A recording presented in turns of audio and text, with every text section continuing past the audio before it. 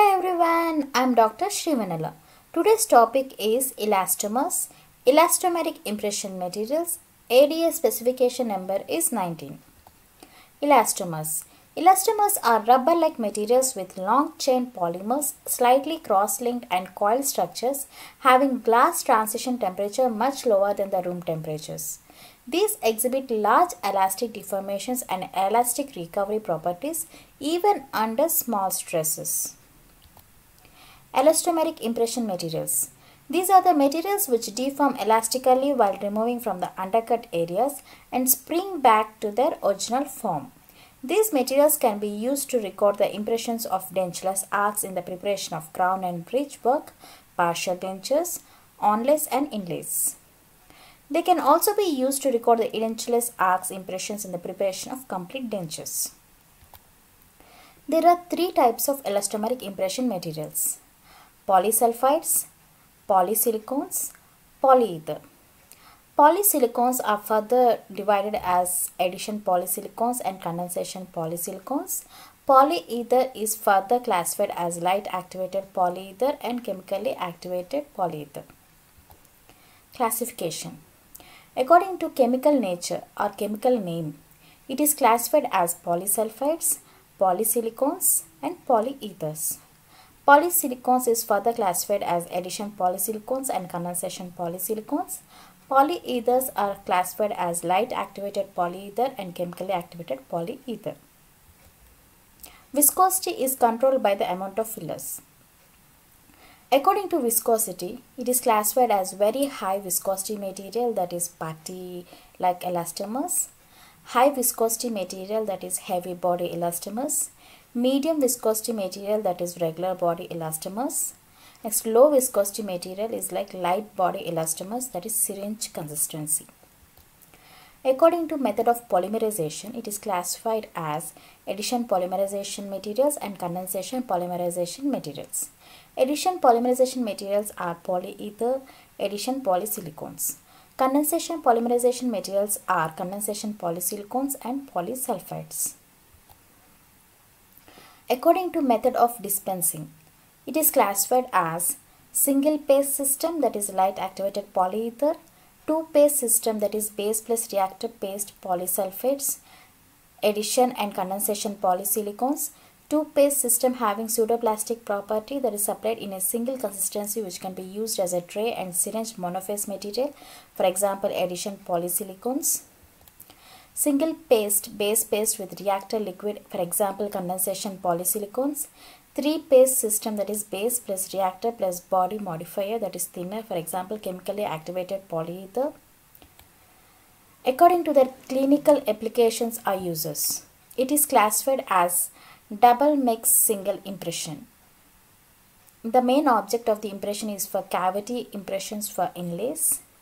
It is used in the combination of light plus heavy body. Next, double mix double impression that is reline technique. The main object of impression are cavity impressions of inlays and onlays, impressions of a crown and preparations of a partial denture. It is used in the combination of putty plus light body or putty plus regular body. Next, individual tray method that is tube impression. The main object of impression is impression of a crown that is single tooth and it is used in the combination of regular body or light body. Next, single mix single impression. The main object of impression is cavity impressions of inlays and onlays and impressions of partial dentures. It is used in the combination of regular or heavy having pseudoplastic property or light or regular body. Classification according to dimensional stability, flow and permanent deformations. There are three types. Type 1 for which maximum permanent deformation percentage is 2.5%, maximum flow in compression is 0.5%, maximum dimensional change in 24 hours is 0.5%. For type 2, maximum permanent deformation is 2.5%, Maximum flow in compression is 0.5%. Maximum dimensional change in 24 hours is 1%. For type 3, maximum permanent deformation is 2.5%. Maximum flow in compression is 2%. Maximum dimensional change in 24 hours is 0.5%. Manipulation of elastomers.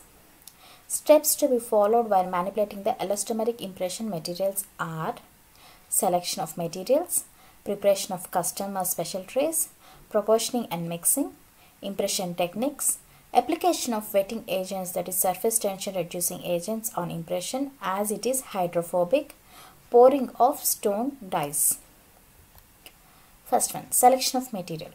The selection of rubber impression material should be based on the clinical usage of the material and the properties required. Next, preparation of custom or special trays. A special tray with spacer has to be prepared with acrylic resins by using the primary or preliminary cast of the patient's mouth. For putty elastomers, perforated stock trays or disposable trays can be used. Adhesion to the tray.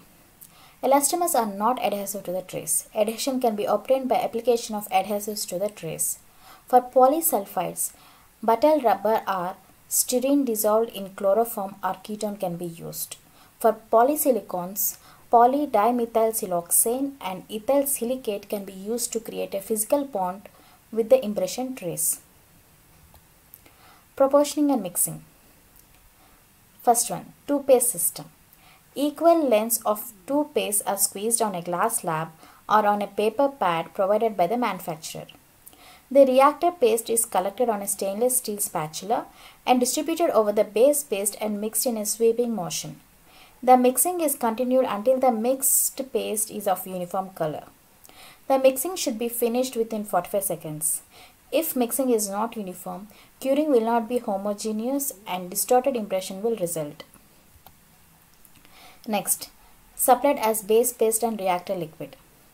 Certain amount of base paste is dispensed onto a mixing pad and the liquid is placed inside the rope of the paste with stated number of drops per unit length of the paste. Paste and liquid is mixed using the stainless steel spatula until uniform color is obtained. 2 putty system. The putty is so stiff that it must be dispensed with a scoop and may be mixed with a heavy spatula or kneaded in the hands until free from streaks or uniform color. Base putty plus reactor liquid. Base putty is dispensed with a scoop. Depressions are made on the surface of the putty base and the appropriate number of drops of liquid are added.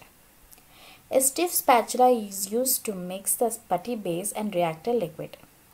Once the reactor is well incorporated, mixing may be continued by hands for 30 seconds until a uniform color or mix is free from streaks is obtained.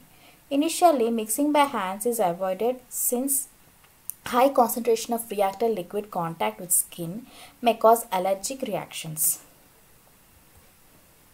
Automatic mixing, automixer that is color plate.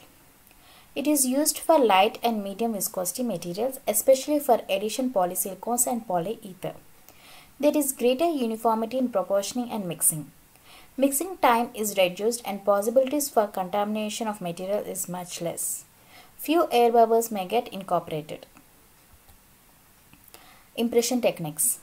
Common techniques used to take impressions are multiple mix technique, reline technique, tube impression, single mix, single impression. Multiple mix technique that is double mix single impression technique or syringe tray method. Tray used is a special tray. Consistencies used are heavy body as a tray material and light body as syringe material. This technique can be used with polysulfides, polysilicones, polyethers. This method is referred as multiple mix technique because two separate mixes are required with two separate mixing pads and spatula.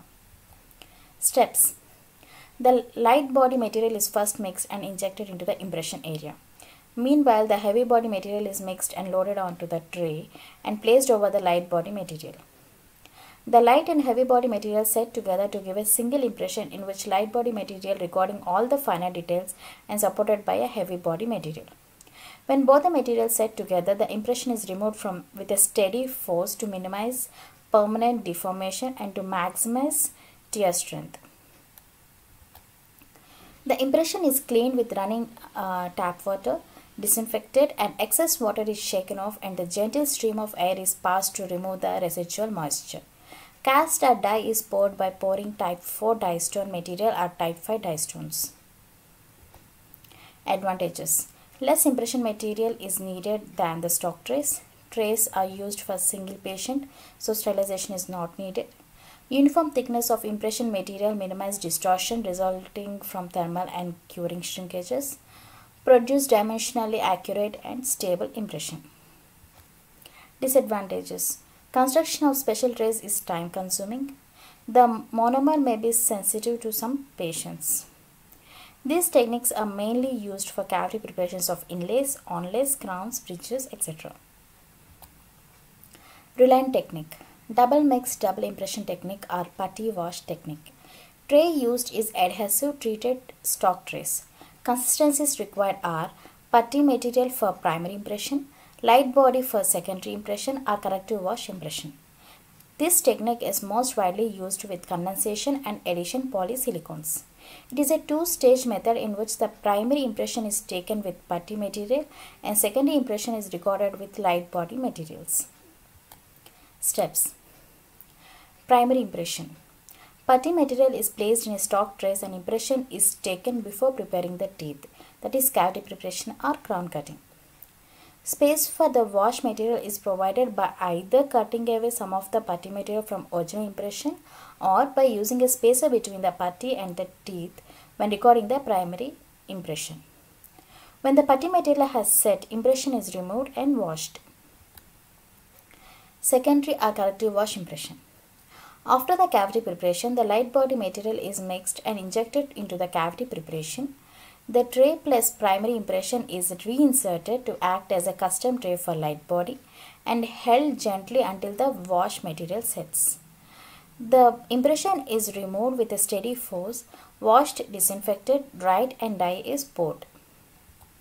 Advantages Rapid curing of putty elastomer that is primary impression need to be held in mouth only for few minutes.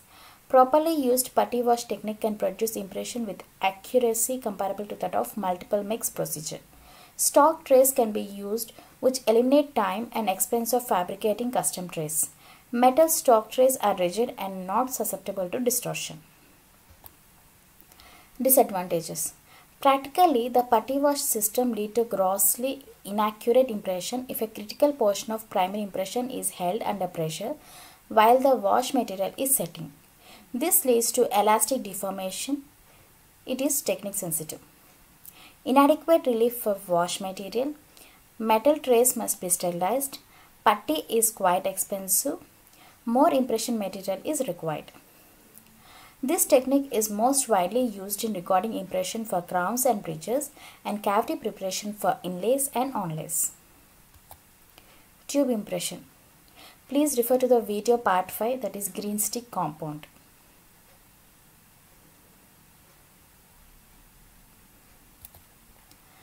Single mix, single impression. A special tray is used. Materials used are of single consistency having pseudoplastic property that is regular or light body materials can be used both as a tray and syringe material. This technique is used with addition polysilicones and polyethers as they have pseudoplastic properties that is monophase materials. As these materials are subjected to low shear stress during spatulation, an impression is made in a tray as they have high viscosity. The same material can also be used as a syringe material because at the higher shear rates, the viscosity decreases as much as 10 folds. A pseudoplastic mix becomes thinner when stressed more. One part of mix is loaded on a tray and another part is taken in the syringe. The syringe mix is squeezed on the prepared cavity. This thinner mix has a better flow and records all the finer details whereas the thicker tray mix gives the support for the syringe materials. Common causes for failures of elastomeric impression materials. Rough or uneven surface that is incomplete polymerization due to premature removal, improper mixing, too high accelerator or base paste ratio, too rapid polymerization from high temperature or humidity, Bubbles. It is due to rapid polymerization preventing flow, incorporation of air during mixing, inadequate flow. Next, irregular voice. It is due to presence of moisture, water or debris on the tooth. Next, distortion. It is due to poor adhesion to the tray and detachment. Special tray get distorted if resin has not completely polymerized. Late seating of tray, the mix being already started polymerizing. Too thick and non-uniform impression. Too much pressure applied continuously even after setting commence. Movement of tray during polymerization. Premature and improper removal of tray from the mouth. Delay in pouring the cast for polysulfide or condensation polysilicones. Too early pouring the cast before 20 to 30 minutes after taking impression in case of additional polysilicones and polyethers. Next, rough and chalky surface. It is due to inadequate cleaning of impression, excess water or wetting agent left over the impression, too high water powder ratio and improper mixing of dental stone mix, premature removal of the stone cast. Next, comparison of properties. Properties like working time. For polysulfide, it is 5 to 7 minutes. For condensation silicone, it is 3 minutes. For addition silicone, it is 2 to 4.5 minutes. For polyether, it is 2.5 minutes. Setting time. For polysulfide, it is 8 to 12 minutes. For condensation silicone, it is 6 to 8 minutes. For addition silicone, it is 3 to 7 minutes. For polyether, it is 4.5 minutes. Stability. For polysulfide, it is for 1 hour. For condensation silicone, it is for immediate pour. For addition silicone, it is for 1 week. And for, for polyether, it is like 1 week kept dry. Next, wettability and castability. For polysulfide, it is fair. For condensation silicone, it is fair. For addition silicone, it is fair to good. For polyether, it is good. Cost. For polysulfide, it is low. For condensation silicone, it is moderate. For addition silicone, it is high to very high. For polyether, it is very high. Next, elastic recovery percentage. For polysulfide, it is 94.5 to 96.9 percent. For condensation silicone, it is 98.2 to 99.6 percent. For addition silicone, it is 99 to 99.9 percent. For polyether, it is 98.3 to 99 percent. Next, flexibility percent. For polysulfide, it is 8.5 to 20 percent. For condensation silicone, it is 3.5 to 7.8 percent. For addition silicone, it is 1.3 to 5.6 percent. For polyether, it is 1.9 to 3.3 percent. Next, flow percent. For polysulfide, it is 0.4 to 1.9 percent. For condensation silicone, it is less than 0.10 percent. For addition silicon it is less than 0.05 percent. And for polyether, it is less than 0.05 percent. Next, Shrinkage in 24 hours percentage. For polysulfide it is 0.4 to 0.4 percent. For condensation silicon it is 0.2 to 1 percent. For addition silicon it is 0.01 to 0.2 percent. For polyether it is 0.2 to 0.3 percent. Next, tear strength gram per centimeters. For polysulfide it is 2240 to 7410 for condensation silicone, it is 2280 to 4370. For addition silicone, it is 1640 to 5260. And for, for polyether, it is 1700 to 4800. Thank you everyone. Hope you all like the video. Please like, share and subscribe.